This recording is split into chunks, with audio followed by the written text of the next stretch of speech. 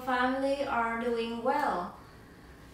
It has been a long time since we last saw each other. I really miss you and I hope we can see each other again soon.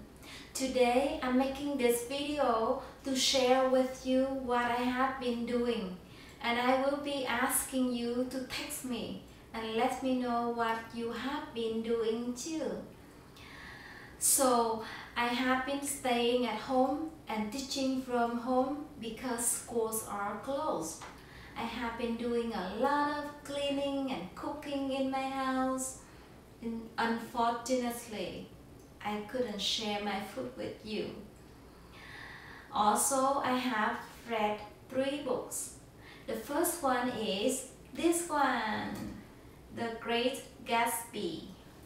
The second one is The Housekeeper and the Professor. The third one is Convenience Store Woman. And now I am reading this book. It is called Beartown. This is a very interesting story and I really like it. Finally, I have bought some flowers and placed them in my office. Can you see them?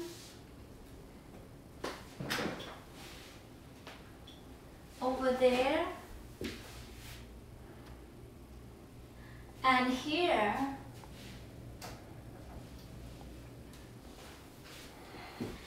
Now, you all have my phone number. After watching this video, can you please text me and let me know what you have been doing? I'm looking forward to read your text. One more thing I want you to know is I will be making more videos to teach English in the future.